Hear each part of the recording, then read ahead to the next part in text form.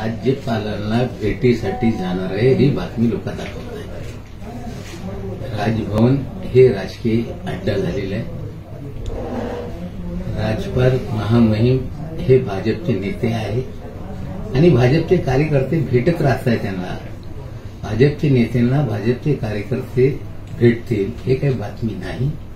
आणि ते त्यांचे नेते त्यांचे कार्यकर्ते एकमेकाला भेटत राहत आहेत आणि या पदाचा वापर राजकीय हेतूने होते हे काही नवीन नाही.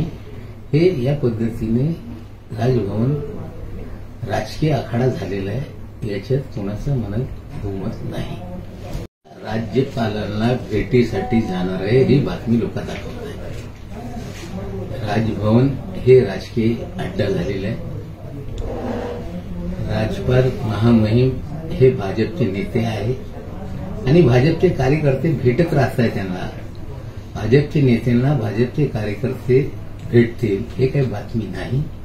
आणि ते त्यांचे नेते त्यांचे कार्यकर्ते एकमेकाला भेटत राहत आहेत आणि या पदाचा वापर राजकीय हेतूने होते हे काही नवीन नाही. हे या पद्धतीने राजभवन राजकीय आखाडा झालेला आहे याच्यात कोणाचं मनात बहुमत नाही.